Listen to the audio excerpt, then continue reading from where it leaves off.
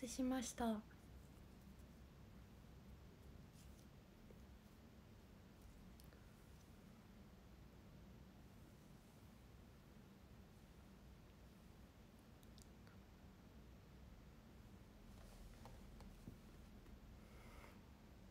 ばいもうなんか全然つながんない。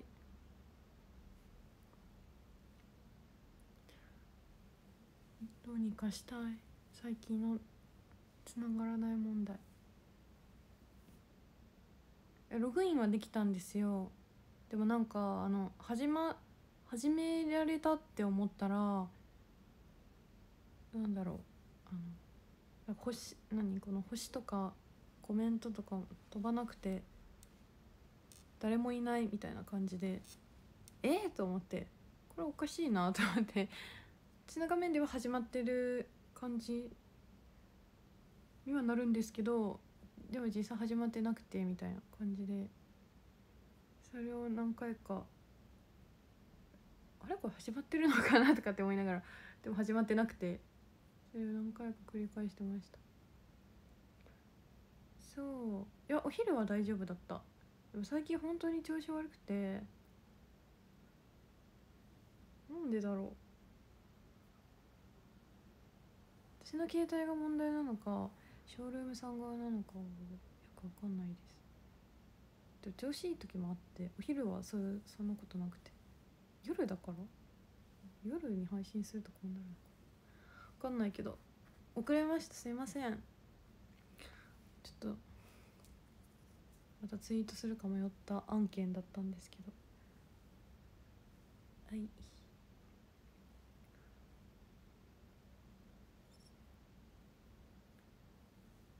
そうなんですお昼も配信したんですよ。今日は昼夜と配信します。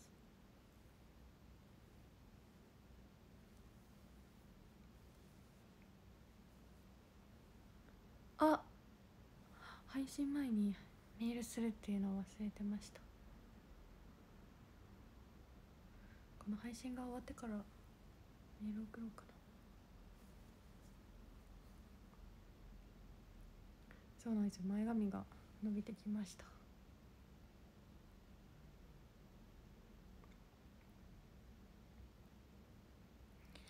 そよさんカタカナのタカさんギフトありがとうございます。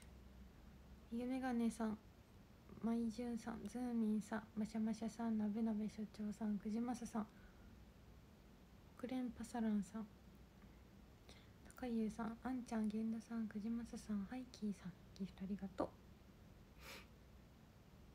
猿山さんアーリーさんマイセンタンくじまささんわたるさんレフトさんマサさんギフトありがとう。メイク落とそうかなって思ったんですけどもうそのままにしました。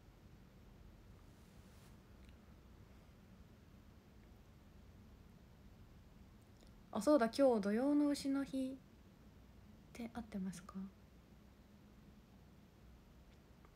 こんばんは。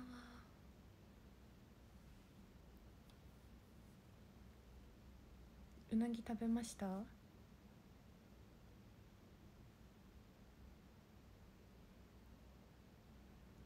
私食べてな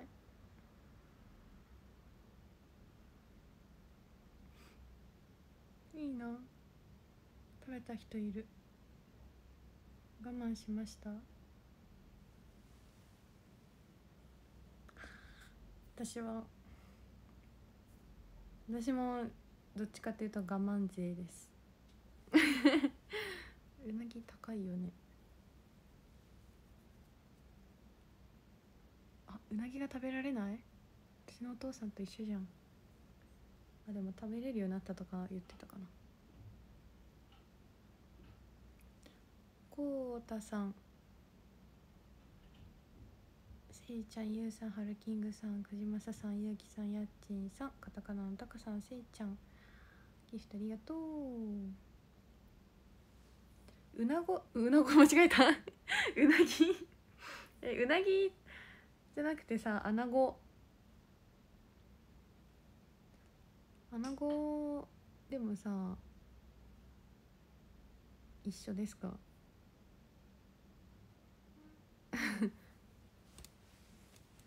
似てるけど違うんかな。うなご。違うんだ。えじゃあうなぎを食べても意味がない。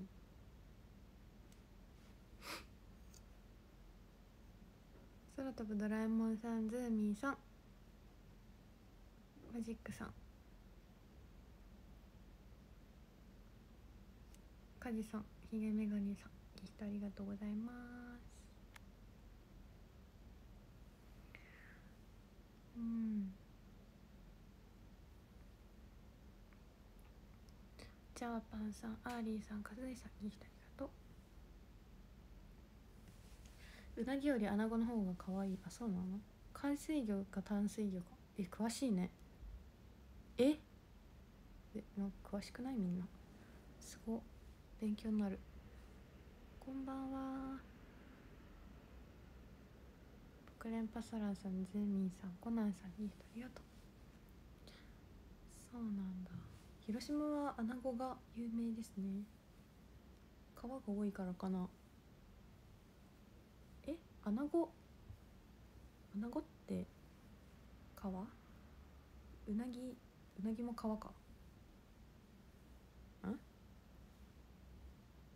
どどっちがどこどこで取れるんですか？こんばんは。あアナゴが海？アナゴが海か。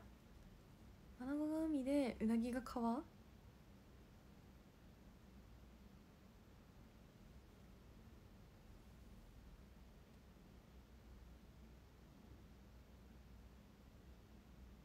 えうなぎ食べたい。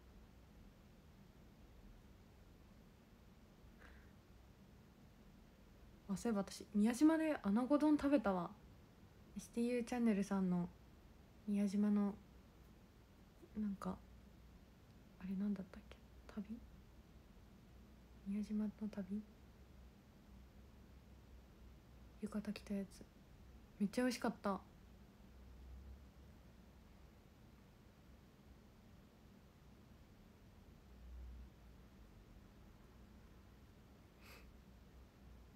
南さんいや南さんのご褒美ロケにラッキーなことについていけたあの日。えでもアナゴ食べても意味意味がないんですかね。うなぎのうなぎを食べることに意味があるんですよね。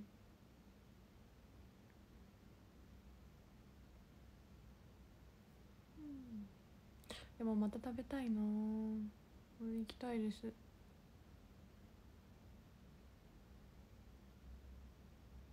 でも私違いが分かんないと思うそこまで「う」がつくものであれば。うううどん？うどん？う牛う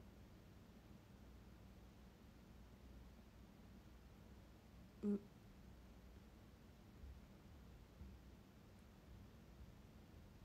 うさぎ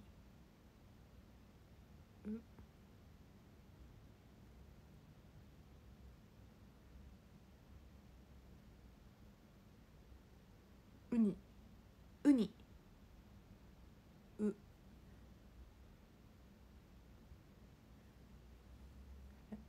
意外と出てこないんだけど。ねぎりんさんルールさんみーしぎさんイルロスさんのぶろうさんギフトありがとうございます。ジェームスさんプリンちゃんたけちゅんさんありがとうございます。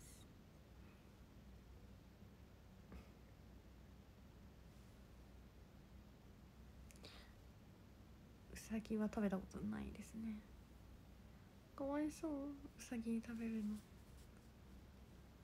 マグさんギフトありがとうございます。和井さんマグさんギフトありがとう。ああ梅干し。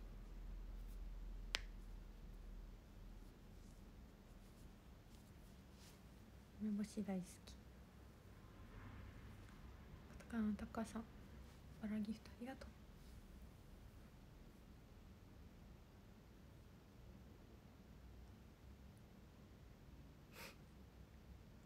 マナブンさんだるまありがとうございます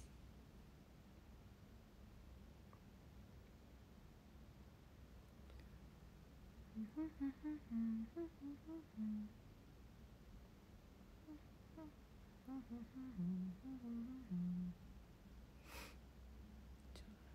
さちょっと仮眠取ったから目が目がもうし実は死にそうなぐらいカピカピに乾燥してる。コンタクトしたまんま寝てしまった。ああで私コンタクトが乾燥して乾燥してっていうかめっちゃゴロゴロして痛くて目が開けられなかった瞬間ナンバーワンがあのこないだのお話し会の時ですね。幕張？幕張メッセでお話しした時かな。STU の衣装着て制服着てお話しした時幕張があの日そうコンタクト合わなくてなんかもうずっとやばいやばいやばいやばいどうしようどうしようどうしようって戻るたんびに お話できないお話できない外したい。でも眼鏡かけたらもうなんか目が点みたいになっちゃってであの目悪すぎて目があのレンズが分厚いから点みたいになるからえこれじゃ無理って思ってだからもうつけたり外したりしててでもそれしかコンタクト持ってきてなかったからそれ以外のコンタクトつけられるものがなくてそうめっちゃ辛かったあの日。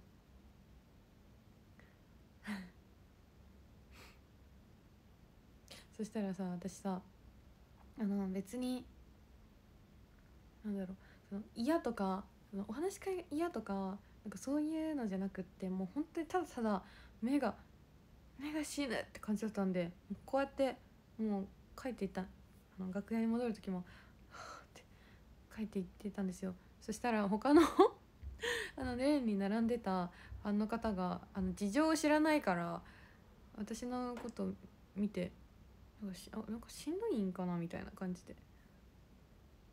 なんかすごい不可解な顔で 見られたのでなんかその説明する説明する余儀もなく あの書いていたので別になんか体調的にしんどいとか話し会が嫌とかそういうのじゃなくてもうただただ単純にあの目が殺されてたので本当に聴覚をこあもう聴聴覚じゃないもう本当に目死にって感じ。もう死因死因が目みたいな感じの日だったのであの日に勝るものはないな。そう。コンタクトしてない人は分かんないかもしれないけど。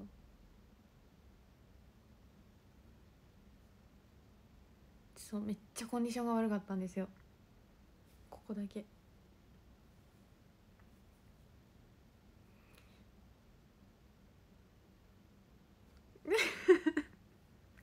目がカピカピだからね。大声で？言ってみればよかったな。成瀬さん扇風機の風さんせいちゃんみつるんさん。いわしやさんさーぽんさんフッキーさん。まなぶんさん関さんひげめがねさん。ちゃいこさん。ギフトありがとうございます。説明して戻ればよかったね。私が今目をシュパシュパさせてるのは決して疲れてるわけではなくて本当に目が乾燥して今辛いのです。勘違いなさらず。って言って歩いて帰ればよかったかな。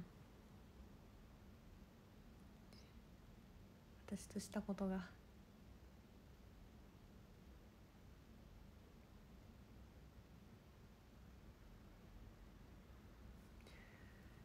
私としたことが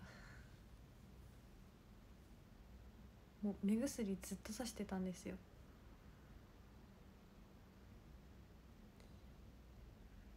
目薬ってさそんなすぐになくならんやん。けども 驚異の速さでどんどんなくなっていくんですよ。もうずっとやって刺してるから。こんな一日で減ることあるみたいな。目薬ってあの小ささで結構持つじゃないですか。どんどん目減りしていくのが分かる。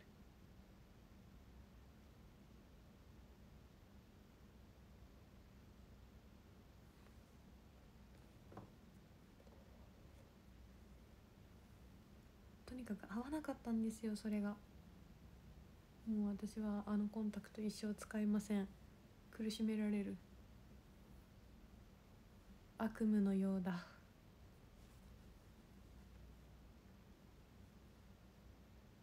でもその時はそれしかなかったんです。泊まりに来てたから家に帰ることもできなくて。で私めっちゃ視力悪いからマイナス8とかなんですよ。だからそのドン・キホーテとかあのコンタクトショップで売ってあるコンタクトって大体マイナス6までとかだったりして売ってないんですよ。私はいつもあのコンタクトコンタクトレンズのなんか専門店とかあとはそのネットで頼んでやっと買えるみたいな感じで。でそこまで目が悪いからもう本当にレンズがそのフレーム フレームその薄型にしてもフレームからはあの出ててそそうなるともうなんだろう。このこのさ指。指の。この爪。爪の。いやこん小指の爪ぐらい。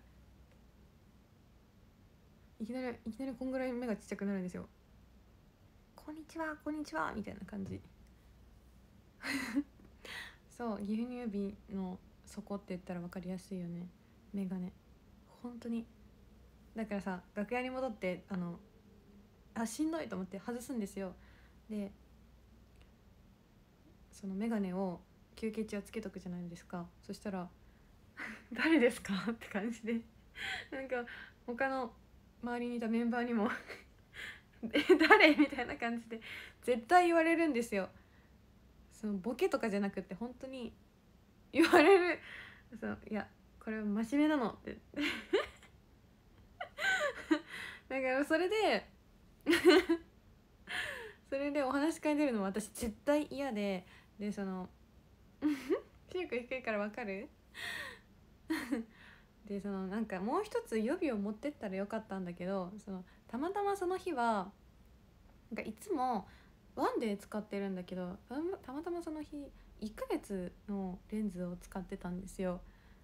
でその前日の時はそんなにあのししんどくなかったっていうかもう全然何にも起きなかったのでその次の日になって謎に目に異常が発生してだから1ヶ月のやつだからその予備も持ってきてなくってでも本当になんか別に本当に変なことしてないんですよ。水につけてたとかなんか変な薬剤につけてたとかそんなもないしただただ目の調子が悪かったのでしかもいつもだったらワンデー持ってきてたのに今回1ヶ月のやつみたいな感じで。八方塞がりでしたあの日は。しかも朝早かったから買いに行けなかったし。しかもなんかマネージャーさんに買いに行ってほしいなんて言えることもできなくて。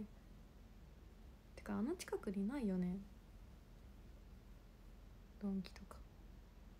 ワンチャンさワンチャンクリアレンズを買ってきてもらうってこともできたんだけどそれはちょっと申し訳なかったです。カタツムリさんあっちゃさんカイザーソゼさんパンダのアバターなべなべ所長成瀬さんギフトありがとう。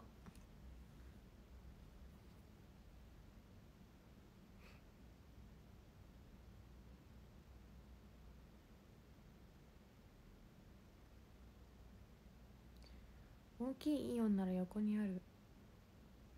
イオンか。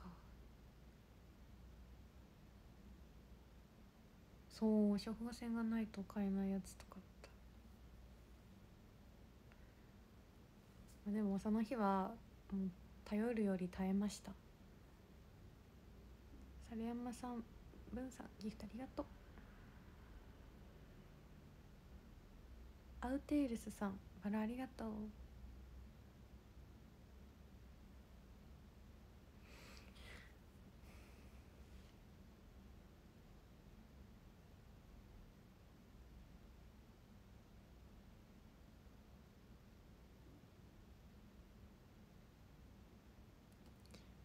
タカさんタコありがとうございます。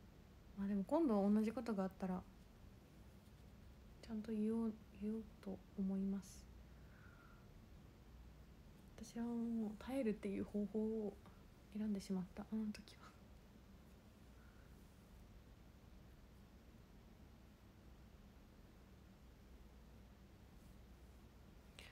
空飛ぶドラえもんさんバラありがとうございます。あとは予備を持っておくことですね。本当目とか何が起きるか分かんないし一番視覚って大事じゃないですか。まあいろいろ大事だけど。でもなんかね。本当に。そんな絵は大事ですよ。ウクスツヌさん。バラありがとう。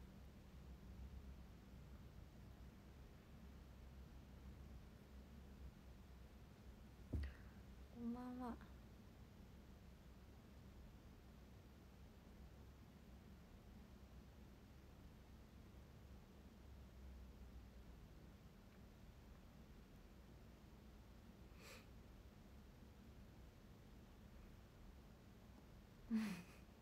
そう。なんかその状態で写真会耐えてたからさ、うん、すごい感動して泣いてる子みたいになっちゃって「ありがとう。本当にありがとう」みたいな感じで。なんかちょっと感動的な傍から見たら感動的な写真会だったのかなとか思ったり。私がそう思ってるだけだったかもしれないけど。眼鏡はねお泊まりの時は持ち歩くので。うん。つも持ち歩いてるわけではないですね。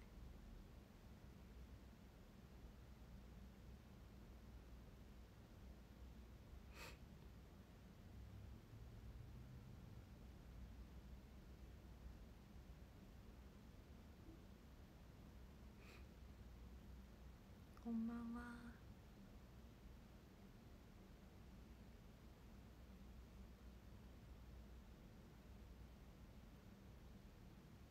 最近さ私すごく思うことがあってこれ全然違う話なんですけどなんか SNS とかそういうネットが昔よりもなんて言うんだろうさらに自分たちの生活の一部もなくてはならない存在になっててやっぱネットがその携帯がないとパソコンがないととか、うん、ネットがある状況じゃないと生きてはいけるけど欠かせない存在みたいな感じだってより昔より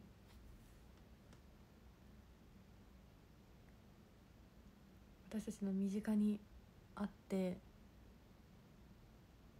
それをすごいひしひしと感じるんですけどあコンタクトの今までのコンタクトの話は全く関係ないです。話が変わりました。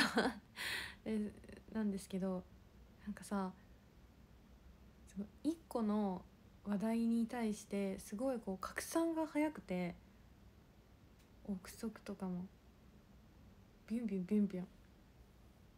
飛び回るしでなんか本当に多いのがさ想像力がそう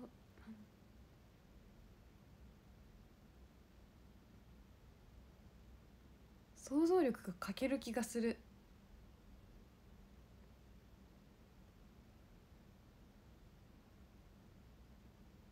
なんかその情報がありふれありふれてでなんかこれこのこの状況の背景はとか本当にこれは真実なのかとかなんかそうやって一個一個にちゃんと向き合って想像することが欠けてるような気がして。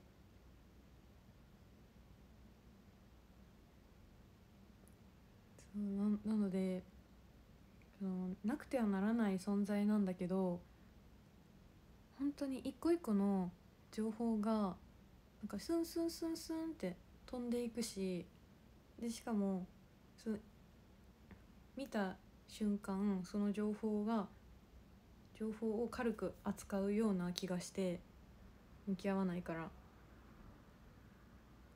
じっくりと。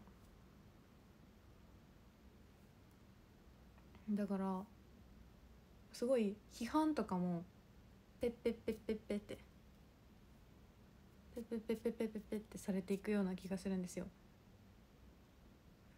そう長そう長文だとか長い動画とか結局なんかもうそれをあんまり見なくなってだから短時間で見れるものとかシュッシュッシュって処理できるものとかパッて見たものでえこれやばなんでこんなのもできないんだろうこれはおかしいだろうってなんかすぐこう言われる判断される。っていう現象が今なんかすごいなんかそれがなんか怖いなって思ったっていう話です。そう。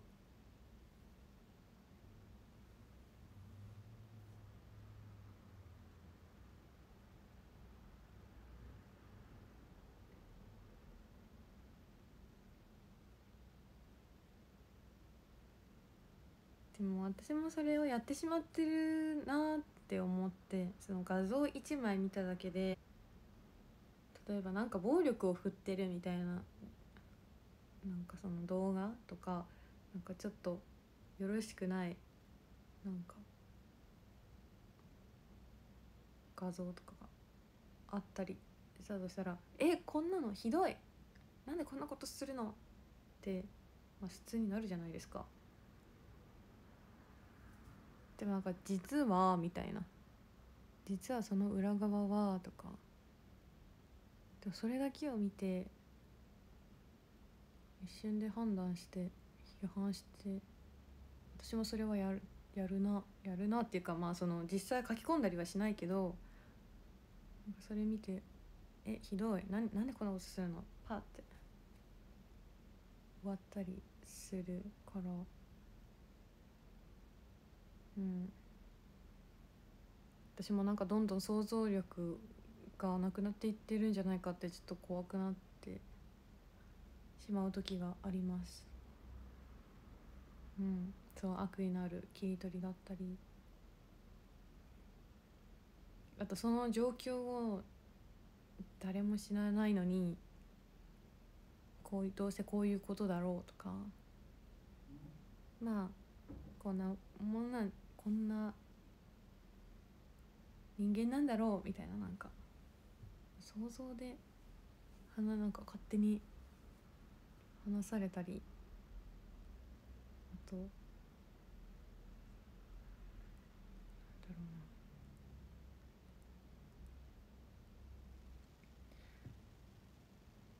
うな。例えばさ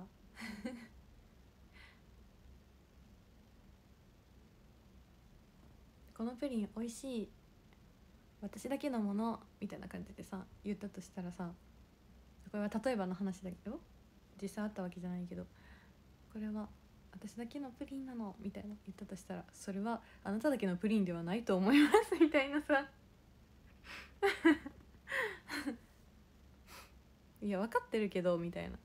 もあったりその全部長文とかも説明文読んでないからそれをしてしまっては環境破壊ですみたいな。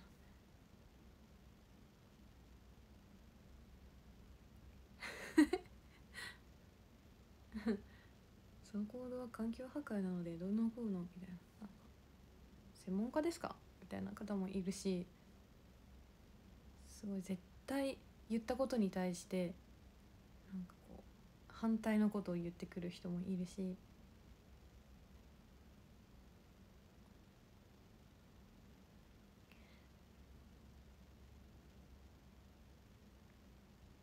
でそう。だからさなんか最近そのエンタメのそのニュースとかもを見てても思うんですけど例えば。本当にめちゃくちゃダンスも揃っててもうスタイリスなんかスタイリスん？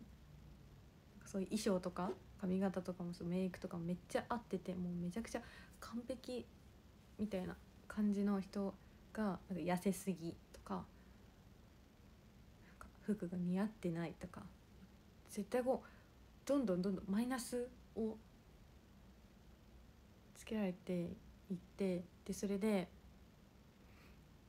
なんかやっぱその声を汲み取ろ汲み取ってやるからどんどんその求められるレベルもどんどん高くなっていってでそういうなんか頭がおかしい人の声を声もじゃなんかこう拾うからだからもう変に発言もできないし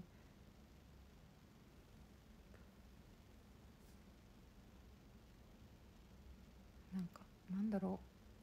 すごい生きにくいよね。っ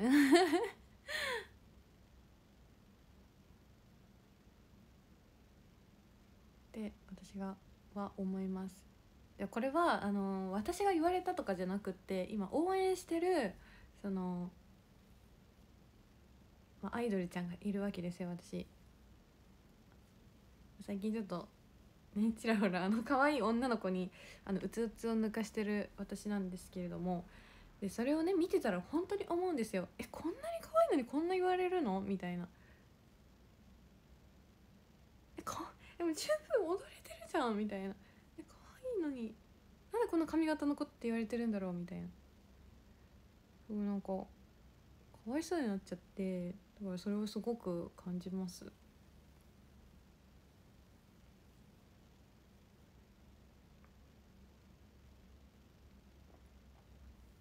完璧じゃんみたいな。どんだけ完璧求められてんのって思います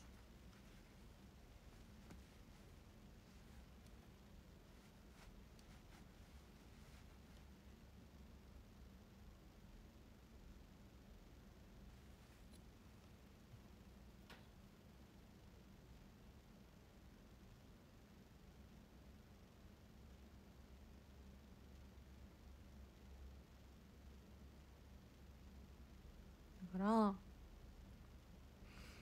つまり何が言いたいかというと可愛い女の子は私が守ってあげるっていう。っていうこと。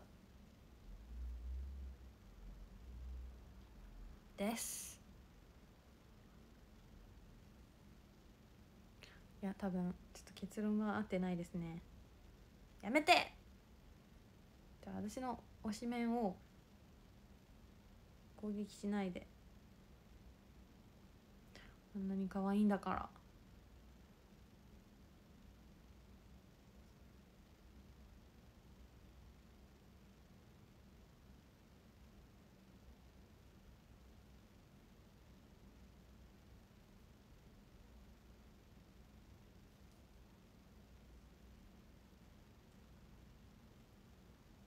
いう気持ちなのです。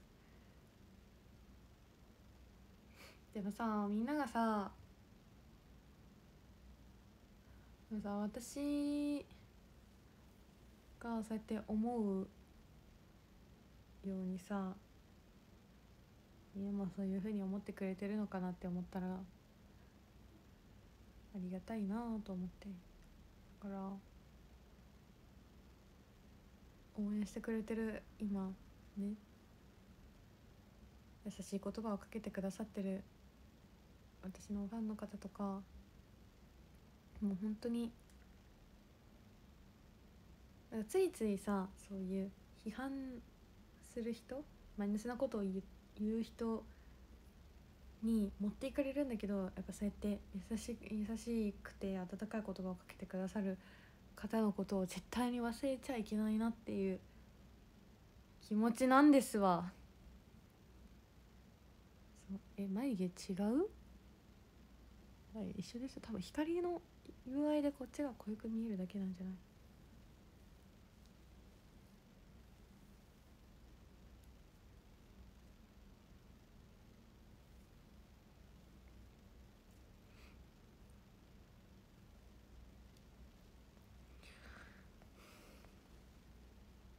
なべなべ所長さん。ルールさんピンクのくまさんケンケンさんサーポンさんカタツムリさん大財さんレフタさん世紀末な人間さん。トシヤさんキングシュリークさん。ギフトありがとうございます。チャイコさんウクスツンヌさん。ギフトありがとうございます。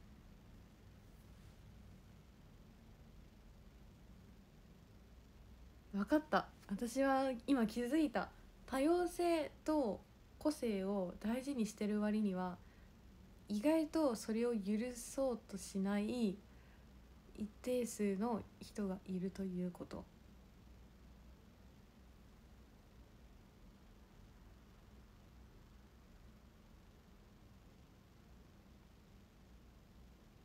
なんかその個性と個性と完璧の狭間でなんかひしめき合ってる。なんか自由なようで自由じゃないみたいな感じ。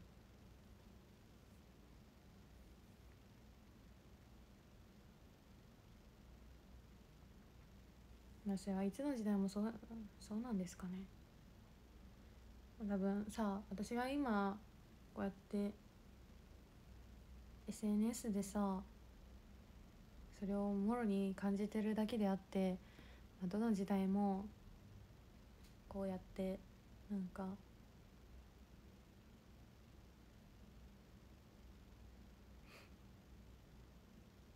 いろんな人の意見と意見との関わりでどの時代も考えられてきたんだろうなと思います。でもなんかそれをもろに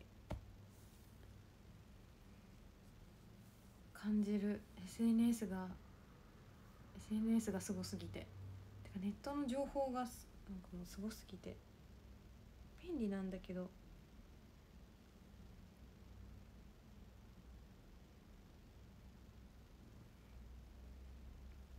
これは何なんですかね。相対性理論っていうやつですか？相対性理論相対性理論って何？マジックさんウミガメさんしんしんしんくんさんおみかんさんマグさんなべなべ所長さんピンクのくまさんサーポンさんレールさんギフトありがとうございます。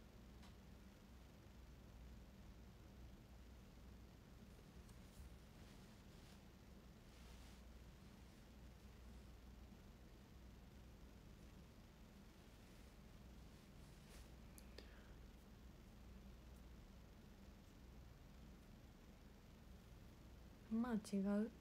違うか。いやちょっとなんか言ってみたかったんですよ。こういうなんとか理論みたいな。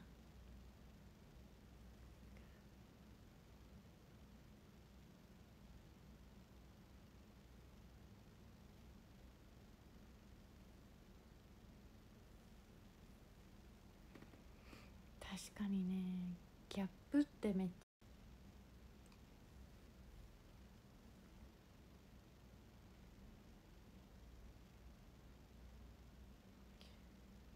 ちゃ優しさを愛だと勘違いしていた僕は一人じゃあ私はメールを送りたいので55分にはこの配信を終えたいと思います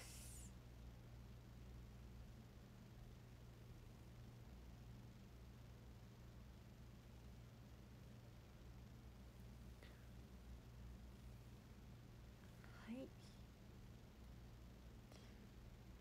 なんか今日は変に真面目なことを話しました。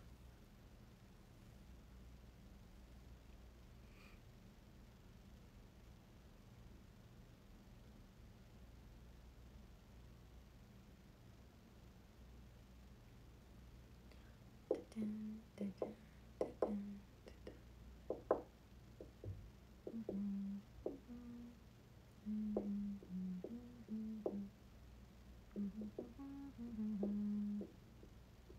Mm-hmm.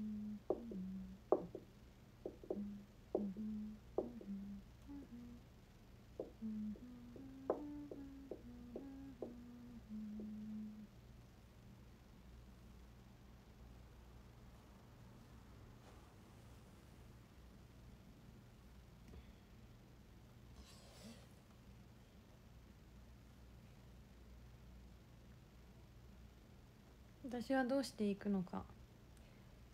えー、愛子じはどう生きるのか。えー、愛子じはどう生きればいいかな。ゴーさんバラありがとう。どう行きましょう。ウミガメさんタコ。ありがとう。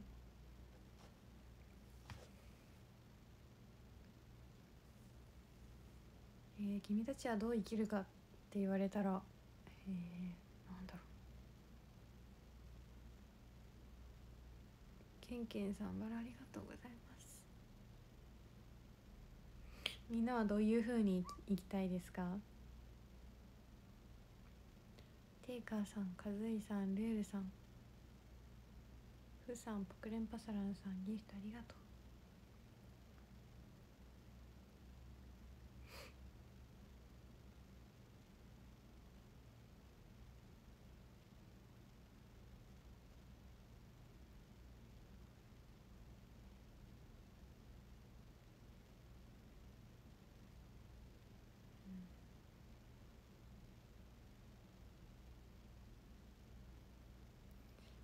うんどういうふうに生きていくか。えー、なんだろうね。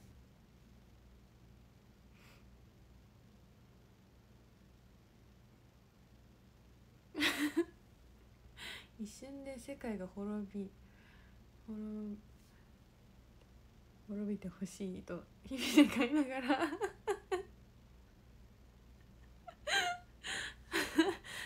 ちょっと私と似たようなことを言ってる人がいる。でも私もなんか正直ちょっとそれを思っててなんか毎日いやこんなこと言ったら本当にまあまたなんかいろいろ言われるかもしれないんだけどなんか一瞬にして地球がさボーンって爆発して一瞬でなんかもうなかったことになんないかなとかって思ったり する。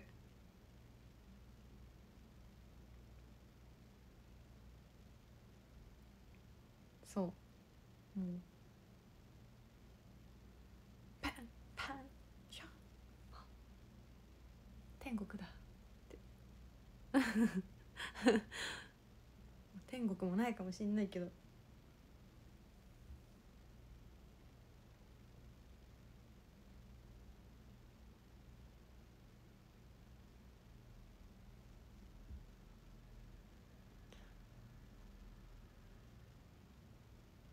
会社できつい日々を過ごしていた時はそう思いました。思うよね。思うよね。一回は思いそう。人間誰しも。なんか地球滅亡いきなり滅亡しないかなって。思うけど。学生の頃とかね。まあそういうわけにもいかず。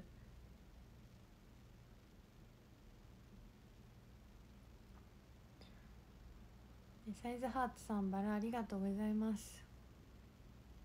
えー、なんだろうね。どういう風に生きたいか。ちょっとそれは考えとこう。じゃあメールに送ります。私はどう生きたいか。なんか書けるかな？あと5分なのに。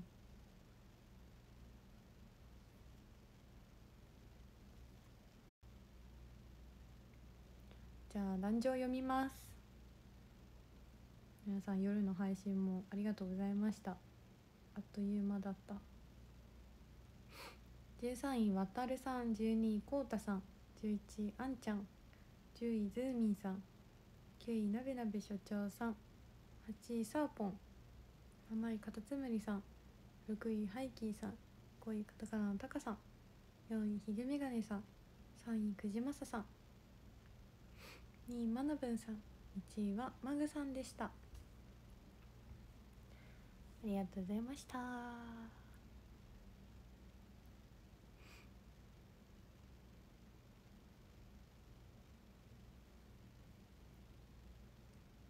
皆さん。お